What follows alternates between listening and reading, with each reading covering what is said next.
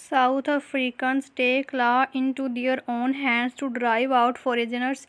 South Africa's president says he is deeply disturbed at the views of foreign nationals working in the country. It is a particular problem in the township of Alexandra, which was at the center of xenophobic riots in 2008. Our, our correspondent Lebo Diseko has been talking into immigrants there who say they live in fear when they came here for the first time. There were seven of them. They made us lie all down. They took the machines, hardwares, and spares. We had no choice but to let them take them because they had guns. David, not his real name, sits nervously in front of me at his barber's shop in Johannesburg Alexandra township the Mozambican looks down at his hands as he describes the numerous attacks. He has been the target of simple